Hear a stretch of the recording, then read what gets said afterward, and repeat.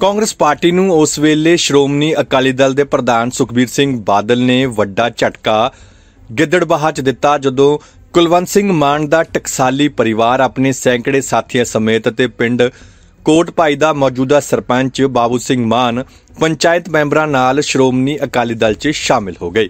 ਸੁਖਬੀਰ ਬਾਦਲ ਨੇ ਉਹਨਾਂ ਨੂੰ ਪਾਰਟੀ ਵਿੱਚ ਆਉਣ ਤੇ ਸਰੋਪਾ ਪਾ ਕੇ ਜੀ ਆਇਆਂ ਨੂੰ ਆਖਿਆ ਅਤੇ ਪਾਰਟੀ 'ਚ ਬਣਦਾ ਮਾਣ ਸਤਕਾਰ ਦੇਣ ਦੀ ਗੱਲ ਆਖੀ। ਇਸ ਮੌਕੇ ਸੁਖਬੀਰ ਸਿੰਘ ਬਾਦਲ ਨੇ ਆਪਣੇ ਸੰਬੋਧਨ 'ਚ ਕਿਹਾ ਕਿ ਰਾਜਾ ਵੜਿੰਗ ਉਹਨਾਂ ਦੀਆਂ ਲੱਤਾਂ ਫੜਦਾ ਰਿਹਾ ਅਤੇ ਇਥੋਂ ਤੱਕ ਕਿ ਸੁਖਬੀਰ ਬਾਦਲ ਨੇ ਰਾਜਾ ਵੜਿੰਗ ਨੂੰ ਹੰਕਾਰੀ ਤੱਕ ਕਹਿ ਦਿੱਤਾ। ਗਿੱਦੜਵੇ ਹਲਕੇ ਨਾਲ ਸਾਡਾ ਜਿਵੇਂ ਘਰ ਹੀ ਹੈ, ਵੱਡੇ ਬਾਦਲ ਸਾਹਿਬ ਨੇ ਆਪਣੀ ਸਿਆਸੀ ਜੀਵਨ ਇਸ ਹਲਕੇ ਤੋਂ ਸ਼ੁਰੂ ਕੀਤਾ। ਘਰ ਘਰ ਨੂੰ ਜਾਣਦੇ ਆ, ਘਰ ਘਰ ਦਾ ਰਿਸ਼ਤਾ ਹੈ। ਕਈ ਪਰਿਵਾਰ ਵਿਛੜ ਗਏ ਸੀ। ਫਿਰ ਤੋਂ ਹੁਣ ਜੁੜ ਰਹੇ ਹੈ ਪਿਛਲੇ 10 ਸਾਲ ਇੱਥੇ ਕਾਂਗਰਸ ਦਾ ਇੱਕ ਹੰਕਾਰੀ ਬੰਦਾ ਇੱਥੋਂ ਜਿੱਤਿਆ। ਜਿਹਦੇ ਚ ਇੰਨਾ ਹੰਕਾਰ ਹੈ ਉਹ ਸੋਚਦਾ ਮੇਰੇ ਤੋਂ ਵੱਡਾ ਕੋਈ ਨਹੀਂ। ਪਰ ਡਰਪੋਕ ਵੀ ਬਹੁਤ ਵੱਡਾ ਹੈ।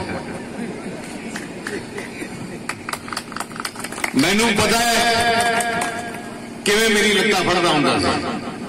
ਕੋਈ ਗੱਲ ਨਹੀਂ। ਕਿੰਨੇ ਘੰਟੇ ਰਹਿ ਗਏ? 100 ਦਿਨ ਹੀ ਰਹਿ ਗਏ। ਆਪਣਾ ਮਹੀਨਾ 28 ਦਿਨ ਰਹਿ ਗਏ। ਹੈਂ? ਹੁਣ ਤਾਂ ਮੈਂ ਜਿਹੜਾ ਫੈਸਲਾ ਕਰਨਾ ਸਣੀ ਨੂੰ ਅਸੀਂ ਲਾਤਾ। ਸਣੀ ਮਾਫ ਵੀ ਕਰ ਸਕਦਾ ਹੈ ਤੇ ਛੱਡ ਵੀ ਸਕਦਾ ਹੈ। ਸਣੀ ਜੋ ਮਰਜ਼ੀ ਖੁੱਲਾ ਛੁੱਟੀ। ਅਮਾਨਤ ਸਣੀ ਦੀ ਹੈ।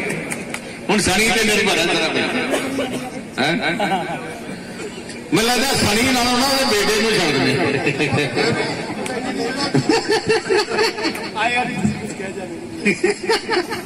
ਸੁਖਬੀਰ ਸਿੰਘ ਬਾਦਲ ਨੇ ਇਸ ਮੌਕੇ ਜਿੱਥੇ ਕਾਂਗਰਸੀ ਲੀਡਰਸ਼ਿਪ ਤੇ ਤਿੱਖੇ ਨਿਸ਼ਾਨੇ ਸਾਧੇ ਉਥੇ ਹੀ ਸੁਖਬੀਰ ਸਿੰਘ ਬਾਦਲ ਨੇ ਕਿਹਾ ਕਿ ਸਰਕਾਰ ਆਉਣ ਤੇ ਸਭ ਤੋਂ ਪਹਿਲਾਂ ਕਿਸਾਨਾਂ ਨੂੰ ਮੋਟਰਾਂ ਦੇ ਕਨੈਕਸ਼ਨ ਦਿੱਤੇ ਜਾਣਗੇ ਪੂਰੇ ਪੰਜਾਬ 'ਚ ਘੁੰਮ ਕੇ ਆਏ। ਮੈਨੂੰ ਲੱਗਦਾ ਮੈਂ ਤਿੰਨ ਸਾਲ ਤਿੰਨ ਮਹੀਨੇ ਹੋ ਗਏ ਘਰੋਂ ਨਿਕਲੇ ਨੂੰ। ਦੂਜੇ ਨੇ ਹਲੀ ਗੱਡੀ ਸਟਾਰਟ ਹੀ ਨਹੀਂ ਕੀਤੀ। ਹਲੇ ਤਾਂ ਡਾਂਗੋ ਡਾਂਗੀ ਹੋਈ ਜਾਂਦੇ ਕਾਂਗਰਸ ਦੀ ਤਾਂ ਛਿਤਰੋ ਛਿਤਰੀ। ਹੁਣ ਇਹਨਾਂ ਨੇ ਤਿੰਨ ਫੋਟੋਆਂ ਲਾ ਦਿੱਤੀਆਂ ਮੈਨੂੰ ਮੈਂ ਲੁਧਿਆਣੇ ਦੇਖੇ ਇਹਨਾਂ ਦੇ ਬੋਰਡ। ਜਿਵੇਂ ਗਾਂਧੀ ਜੀ ਦੇ ਤਿੰਨ ਮੰਦਰ ਕੇ ਹੁੰਦੇ ਸੀ ਨਾ ਜਨ ਮੰਦੇ ਇੱਕ ਅੱਖ ਕੀ ਕੰਧ ਉਹ ਵੀ ਤਿੰਨ ਮੰਦਰ ਆ ਇੱਕ ਜਾਖੜ ਹੈ, ਇੱਕ ਨਵਜੋਤ ਹੈ। ਤੇ ਇੱਕ ਹੈ ਅੱਛਾ ਦੋਨਾਂ ਨੂੰ ਮੈਂ ਤੁਹਾਨੂੰ ਦੱਸਾਂ, ਇੱਕ ਕਮਰੇ ਛੱਡ ਦਿਓ ਨਾ, ਜੁੰਡੇ ਭਰ ਦੇਣਗੇ ਇੱਕ ਦੂਜੇ ਦੇ। ਮੰਨ ਲਾ ਤੁਸੀਂ ਦੇਖੋ, ਕੱਪੜੇ ਫਾੜ ਕੇ ਛਿਤਰੋ, ਛਿਤਰੀ, ਇੱਕ ਦੂਜੇ ਨੂੰ ਨਹੀਂ ਪਸੰਦ ਕਰਦੇ। ਹੁਣ ਜਿਹੜੇ ਪਰਿਵਾਰ 'ਚ ਇੰਨੀ ਲੜਾਈ ਹੋਏ ਉਹ ਪਰਿਵਾਰ ਚੱਲ ਸਕਦਾ ਹੈ। ਤੇ ਉਧਰਲੇ ਪਾਸੇ ਭਗਵੰਤ ਮਾਨ ਕਹਿੰਦਾ ਕਿ ਸਾਡਾ ਆਪ ਕਹਿੰਦੀ ਭਗਵੰਤ ਮਾਨ ਸਾਡਾ ਸੀਐਮ ਦਾ ਫੇਸ ਹੈ। ਉਹਨੂੰ ਦੋ ਦਿਨ ਹੋ ਗਏ ਦਾਰੂ ਪੀਂਦੇ ਨੂੰ ਇੰਨਾ ਖੁਸ਼ੀ ਚੜੀ ਗਈ ਹਲੇ ਤੱਕ ਨਹੀਂ ਉੱਤੇ ਘਰੋਂ ਨਿਕਲਿਆ। ਅੱਜ ਪੰਜਾਬ ਨੂੰ ਇੱਕ ਤਕੜੇ ਮੁੱਖ ਮੰਤਰੀ ਦੀ ਲੋੜ ਹੈ, ਜਿਹੜਾ ਪੰਜਾਬ ਨੂੰ ਅੱਗੇ ਲੈ ਕੇ ਜਾਏ। ਸ਼੍ਰੋਮਣੀ ਅਕਾਲੀ ਦਲ ਜਵਾਨ ਦੀ ਪਾਰਟੀ ਹੈ। ਨਾ ਅਸੀਂ ਕੋਈ ਫਾਰਮ ਭਰਾਈਏ, ਨਾ ਅਸੀਂ ਕੋਈ ਕੋਈ ਸੋਹਾ ਖਾਈਏ, ਅਸੀਂ ਜਵਾਨ ਦੇ ਨਾਲੇ ਆ ਸਾਹਿਬ ਪ੍ਰਕਾਸ਼ ਸਿੰਘ ਜੀ ਬਾਦਲ ਨੇ ਜੋ ਜਵਾਨ ਕੀਤੀ, ਪੂਰੀ ਕੀਤੀ। ਉਵੇਂ ਅਸੀਂ ਹੈ ਜੋ ਜਵਾਨ ਕਰਾਂਗੇ, ਉਹੀ ਪੂਰੀ ਕਰਾਂਗੇ। ਅੱਜ ਤੱਕ ਇਤਿਹਾਸ ਦੇਖ ਲਓ। ਇਸ ਕਰਕੇ ਬਹੁਤ ਕੰਮ ਕਰਨ ਵਾਲੇ ਜੇ ਸ਼੍ਰੋਮਣੀ ਅਕਾਲੀ ਦਲ ਦੀ ਸਰਕਾਰ ਆਉਂਦੀ ਹੈ, ਸਮਝ ਲਓ ਗਿੱਦੜਵੇ ਹਲਕੇ ਦੀ ਸਰਕਾਰ। ਜਦੋਂ ਜਦੋਂ ਮੁੱਖ ਮੰਤਰੀ ਬਣਦੇ, ਇੱਥੇ ਕਹਾਵਤ ਗਿੱਦੜਵੇ ਦੀ ਹੋ ਗਈ ਸੀ, ਪੁਲਾਂ ਉੱਤੋਂ ਪਾਣੀ ਡਿਪਾਇਆ ਆਈ ਸੀ ਨਾ ਗਿੱਦੜਵੇ ਹਲਕਾ। ਅੱਜ ਇੱਥੇ ਕਿਸੇ ਚੀਜ਼ ਦੀ ਕਮੀ ਨਹੀਂ ਆਉਂਦੀ। ਜੋ ਜੋ ਤੁਸੀਂ ਕਹਿੰਦੇ ਮੋਗੇ ਲਾਉਣੇ ਆ। ਭਾਗੜਾ ਤੇ ਮੋਟਰ ਲਾ ਦੇਣੀਆਂ, ਤੁਸੀਂ ਜੋ ਮਰਜ਼ੀ ਕਹਿੰਦੇ, ਖਾਂਦੇ ਰਹੇ। ਬਸ ਹੁਣ ਕਿਹੜਾ ਹੁਣ ਸਿੰਘਾਂ ਨੂੰ ਹੱਥ ਪੈ ਲੈਂਦੇ ਹੋ?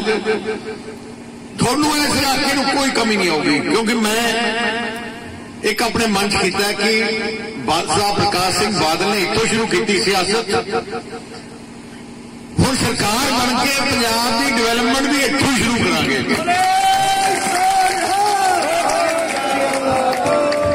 ਸੋ ਹੁਣ ਦੇਖਣ ਵਾਲੀ ਗੱਲ ਇਹ ਰਹੇਗੀ ਕਿ ਆਉਣ ਵਾਲੇ ਸਮੇਂ ਦੇ ਵਿੱਚ ਕੀ ਗਿੱਦੜਬਾਹਾ ਤੋਂ ਸ਼੍ਰੋਮਣੀ ਅਕਾਲੀ ਦਲ ਦਾ ਕਾਫਲਾ ਰਾਜਾ ਵੜਿੰਗ ਦੇ ਕਿਤੇ ਕੰਮਾਂ ਉੱਤੇ ਭਾਰੀ ਪਏਗਾ ਜਾਂ ਨਹੀਂ? ਹਕੀਕਤ ਟੀਵੀ ਪੰਜਾਬੀ ਲਈ ਗਿੱਦੜਬਾਹਾ ਤੋਂ ਸੋਨੀ ਡੱਲਾ ਦੀ ਰਿਪੋਰਟ। ਲਵ ਲਾਈਫ ਪ੍ਰੋਬਲਮ ਪਤੀ ਪਤਨੀ ਵਿੱਚ ਅਣਬਣ, ਪ੍ਰੇਮ ਸੰਬੰਧਾਂ ਵਿੱਚ ਪਰੇਸ਼ਾਨੀ, ਮਨਚਾਹੀ ਸ਼ਾਦੀ ਵਿੱਚ ਰੁਕਾਵਟ, ਵਿਦੇਸ਼ ਯਾਤਰਾ ਪੀਆਰ ਵਿੱਚ ਦੇਰੀ, ਵੀਜ਼ਾ ਲੱਗਣ ਵਿੱਚ ਰੁਕਾਵਟ ਜਾਂ ਕਿਸੇ ਵੀ ਹੋਰ ਸਮੱਸਿਆ ਨਾਲ ਜੂਝ ਰਹੇ ਹੋ ਤਾਂ ਹੁਣੀ ਸੰਪਰਕ ਕਰੋ ਗੁਰੂ ਮਾਂ ਜਾਨਕੀ ਦੇਵੀ ਜੀ ਨੂੰ। ਤੁਹਾਡੀ ਹਰ ਸਮੱਸਿਆ ਦਾ ਹੱਲ 9815119254 ਜਾਂ ਫਿਰ 9815119736 ਗੁਰੂ ਮਾਂ ਜਾਨਕੀ ਦੇਵੀ ਜੀ। ਲਵ ਲਾਈਫ ਵੀਜ਼ਾ ਪੀਆਰ ਵਿਦੇਸ਼ ਯਾਤਰਾ, ਕਿਸੇ ਵੀ ਤਰ੍ਹਾਂ ਦੀ ਸਮੱਸਿਆ ਲਈ ਸੰਪਰਕ ਕਰੋ ਗੁਰੂ ਮਾਂ ਜਾਨਕੀ ਦੇਵੀ ਜੀ।